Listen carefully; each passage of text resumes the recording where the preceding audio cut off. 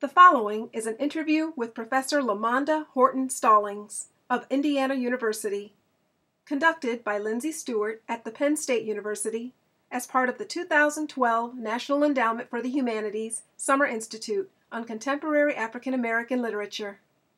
Thank you for being with us today, Dr. Horton Stallings. Thank you for having me. So, how would you describe your approach to teaching African American literature as a tradition?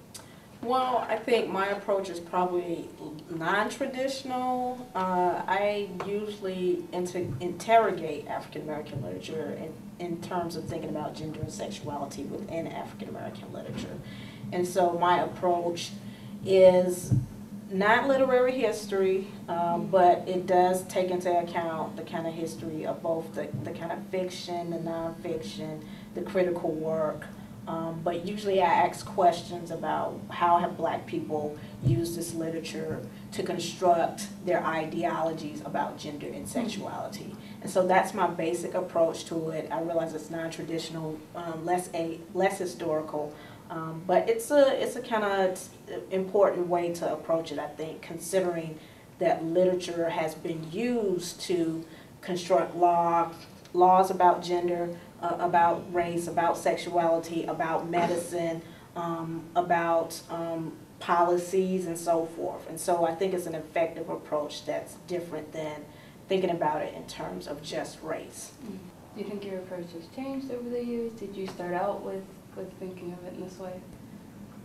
It has changed over the years. I think I initially started with just um, with this basic premise of, of African American literature being about racial identity. Mm-hmm. And what the literature showed me was that it's not just about racial identity. And so that basically led to a kind of focus and focused area of thinking about gender and sexuality. So it has changed over the years, um, primarily because of uh, I think about the ways in which um, reading not just kind of black women writers, but understanding how I was also then picking up on what gender meant to black male writers and so forth. So going back and forth and looking at why these questions were consistently popping up um, became important to me as well.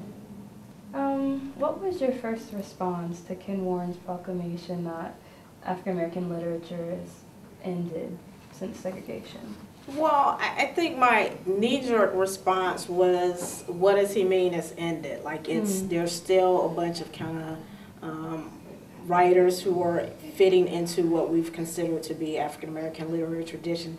I didn't necessarily agree with it. I still don't think African American literature is ended.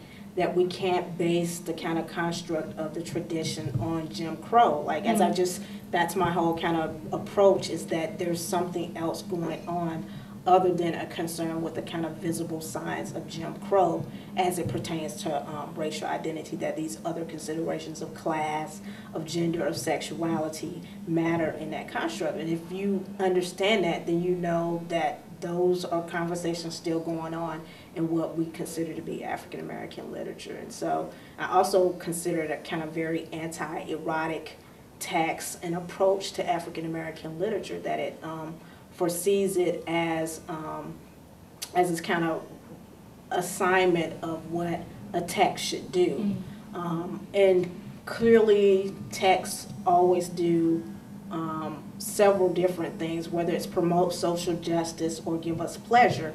But that, that doesn't necessarily mean that it ends when whatever social justice you think have, has been reached is, mm-hmm. is it, it means the tradition has ended. So, what new trend or issue in African American literature has caught your interest?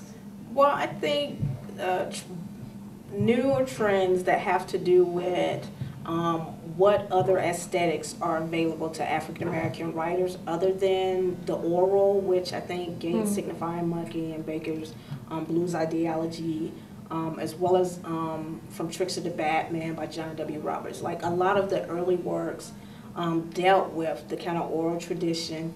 And I think there are a lot of new works, Nicole Fleetwood's um, work, um, Monica Miller's work, that all approach this idea of what the visual means for African Americans. We know, just like Ralph Ellison was a musician, um, that informs his work. Bruce Nugent was an artist.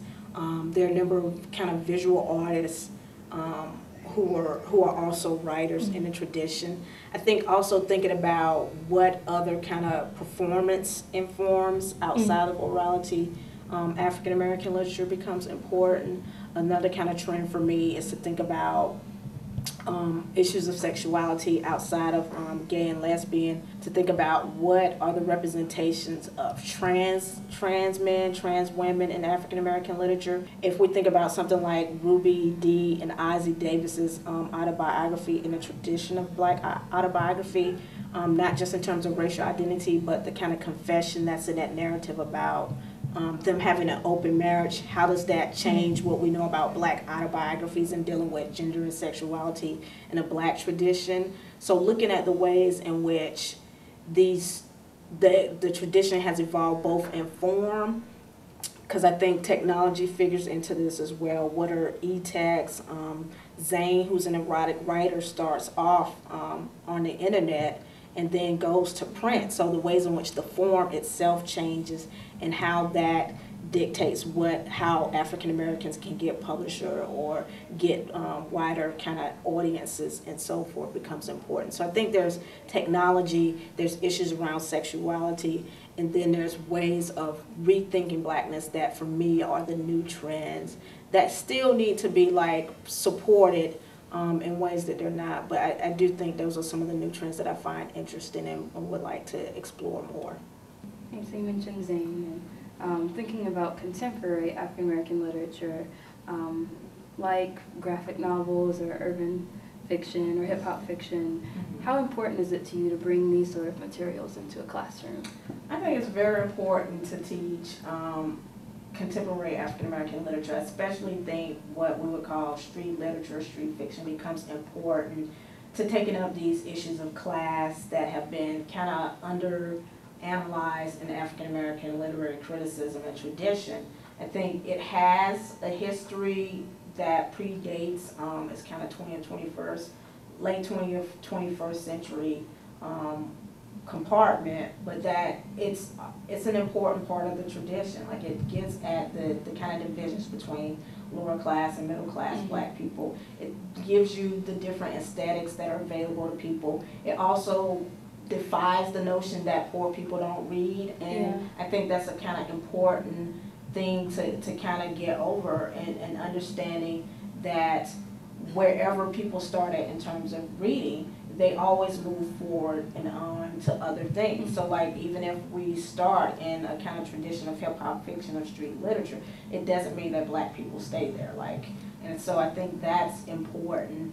You think about people like Jay-Z having a um, now having an autobiography, again this understanding that a hip hop audience is reading already. Like mm -hmm. they read for Jay-Z, yeah. but he also reads as well. So mm -hmm. like mm-hmm. this kind of understanding uh, from this generation of what reading means and what these people have read informs the fact that he wanted to do autobiography. Not just to make money, but understanding that there's a tradition mm-hmm. of reading amongst these people who aren't supposed to be literate in this in this sense that deals with uh, a particular type of genre of um, literature. Right, so transitioning to thinking about the Institute, how did you prepare for your sessions? Well, I think for me, I did a bunch of kind of uh, prep work around my section on eroticism, transing, and black literature. I also just looked at what other people were doing. So we all, I think, engaged what was African American literature by Kenneth Warren. So I think mm. taking an approach that my particular way into that text is going to be different from everybody else's. So I tried to cover elements of that when I talk about it as an anti-erotic text, talk mm about that differently than other people who might be engaging it in terms of thinking about the historical tradition of segregation and so forth. But I also did a lot of kind of prep work around what is the tradition of, of African American literature.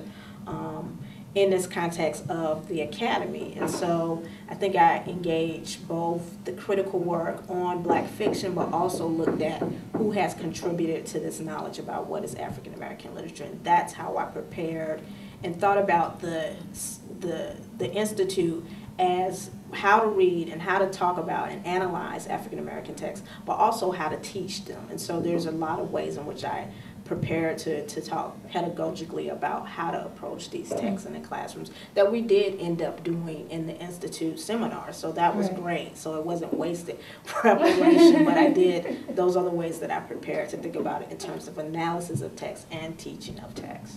So, Yeah. Well, thank you for your time today. Dr. thank you, thank you.